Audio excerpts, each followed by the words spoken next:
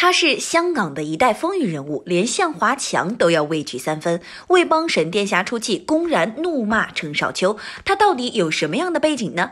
二零一一年，邓光荣在睡梦中悍然尝试了，大半个港圈的大人物都前往葬礼哀悼，甚至惊动了警察维护秩序。邓光荣为何能走到这般地位呢？一九四六年，邓光荣出生于广东，家庭背景雄厚，父亲啊势力大，地位高，畏惧他的人不在少数。作为他最小的儿子，邓光荣出生以来就享受了众多人的宠爱，家中啊也是有权有势。邓光荣因此从小就天不怕地不怕，小小年纪啊就打架斗殴，但学习却没落下，属于学霸级别的人物。加上身体魁梧，眼神较为尖锐，乍一看颇有大哥的风范。因为气质突出，在校园的人气高啊，拥有着众多的迷妹。小时候的邓光荣一心以为自己长大以后会当官，会从事政治工作。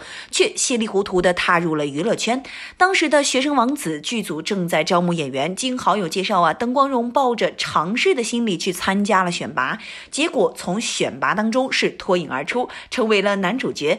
通过电影的光环加持啊，以及邓光荣自带的痞帅气质，一举成为了女生心目中的学生王子。随后，他接演了多部作品，事业是如日中天。一九六九年，在拍摄《非男非女》的时候，他遇到了人生当中的一个重要朋友沈殿霞。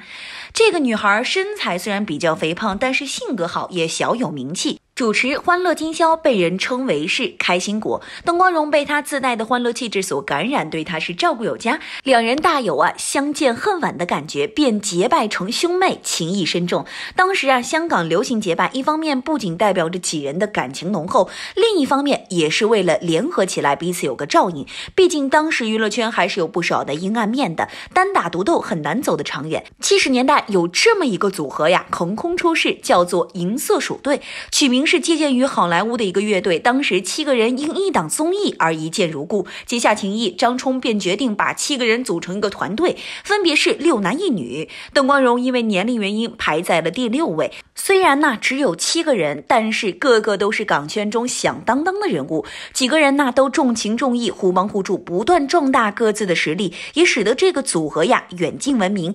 能和这些人一结金兰，可见当时邓光荣在港圈的地位不容小觑呀。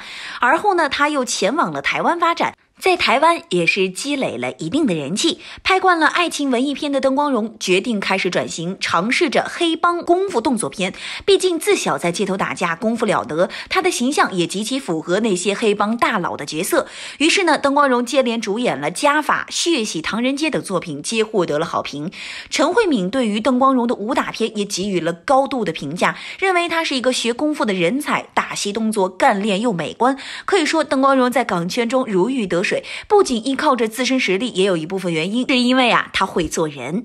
广泛结交好友，壮大实力，所以人脉同样重要。孤军奋战困难时期，没有他人的帮助，往往很难成就一番大的事业。邓光荣因何担任连公馆的坐馆，涉及黑帮事务，为抢周润发和向华强掰手腕，最终谁赢谁输？创办了影视公司，他能否取得成功呢？除了在港圈地位崇高，邓光荣也曾涉嫌黑帮，在江湖中流传着他的传说。连公乐是一个香港一个顶。鼎有名的黑帮社团由刘荣居一手创办的。说起刘荣居这个人，曾经是邓光荣父亲的手下，后来离开他父亲自己打拼。刘荣居十分欣赏邓光荣，认为他讲义气、聪明能干，便提携他成为了第二任社团的领导人，帮助自己打理事务。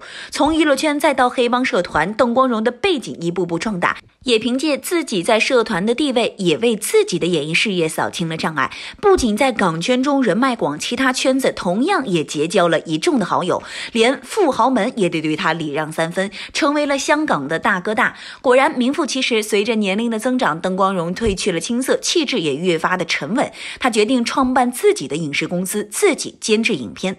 为此，他一九七七年成立了大荣影视公司，一九八七年开办了影之杰公司，拥有了。两家公司。一九八六年，因出演《英雄本色》，周润发通过黑帮大佬的形象一炮而红，吸引了向华强和向华胜两兄弟。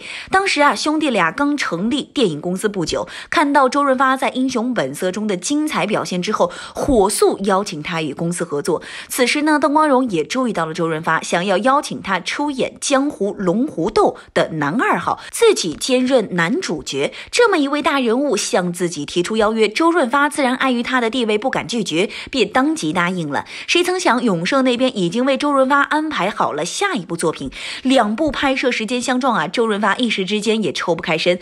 无奈之下呢，周润发只能将实情悉数道给了邓光荣，让他来做出决定。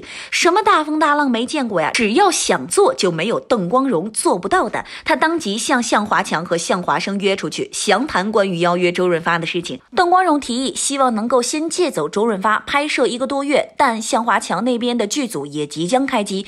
邓光荣地位崇高，向华强也有一番本事，虽然对邓光荣还是有所畏惧的，但是向华强并不打算这么快妥协。双方争执不下，火药味十足啊！这时，邓光荣的义兄谢贤赶来了，缓解了这场无声的争斗。原来啊，周润发害怕事情闹大，便打电话让谢贤来当和事佬。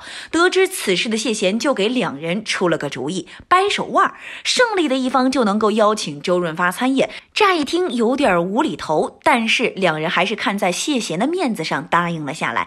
邓光荣自小打架，拳头有劲儿呢；向华强呢，也曾经专门学过功夫，两人可以说实力上是不相上下的。比赛正式开始，一开始啊，双方处于僵持状态，彼此是青筋暴起。不过后来慢慢的，向华强处于了下风，最后是败下阵来。赛后，两人相视一笑，握手言和。这这场争夺战也在谢贤的帮助。下成功的落幕了，能够采取和平的方式解决问题，才能让人心服口服啊！有了周润发的加盟，《龙争虎斗》这部影片上座率极高，也让邓光荣有信心继续做大做强。之后，邓光荣又接连邀请了任达华、林青霞等担任配角，一同拍摄电影。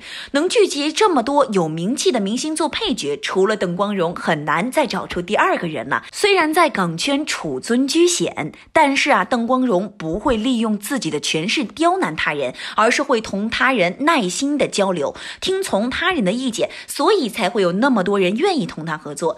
在沈殿霞的追思会上，破口大骂郑少秋，为何他敢行这般贸然行事呢？为人仗义重情义，是否会给他带来不好的影响呢？为何六十五岁的他便柯然尝试呢？是因意外还是另有原因呢？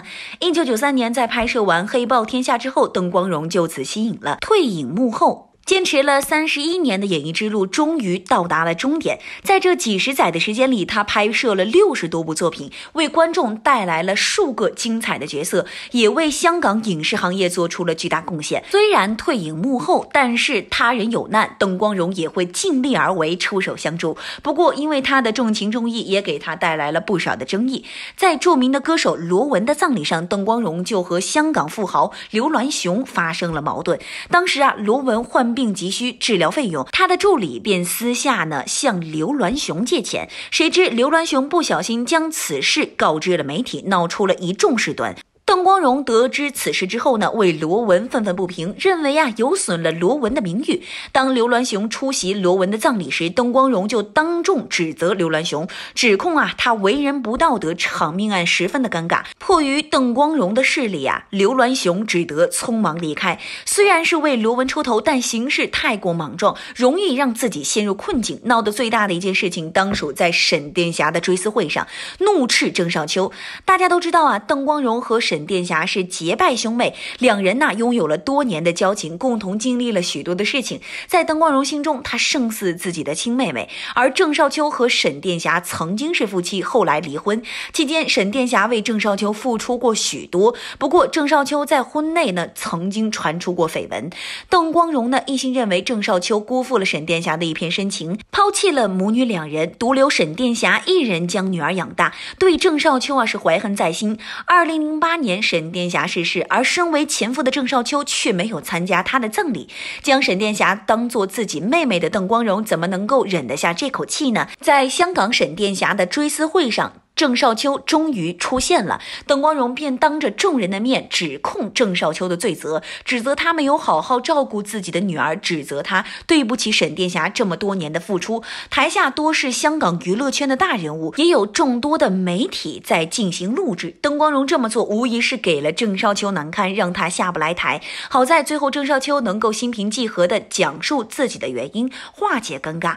有人认为邓光荣是心疼沈殿霞才会这般冲动。不过，也有人认为啊，他脾气火爆，做事不分青红皂白，讲义气固然是件好事，但前提是讲究策略，让自己能够安然脱身。不过，以邓光荣的身份，就算事情再重大，也不会对他产生太多的影响。二零一一年，邓光荣因突发心脏病在睡梦中离世了，本来还身体健壮，却因意外突发身亡。港圈中有这么一个传奇人物就此消失，令人感叹。在他的葬礼上，百位明星前来参望，各各大。媒体聚集报道，场面是前所未有的壮观。毕竟邓光荣的交友圈太过广泛了，对待朋友极其大方，这么多人前来吊唁也是常事。回顾邓光荣的一生，他是娱乐圈中闪闪发光的一颗璀璨的星星，是香港的大哥大，具有王者风范，重情重义。虽然外界对他的评价有好有坏，具有争议性，不过这也正是他独特之处。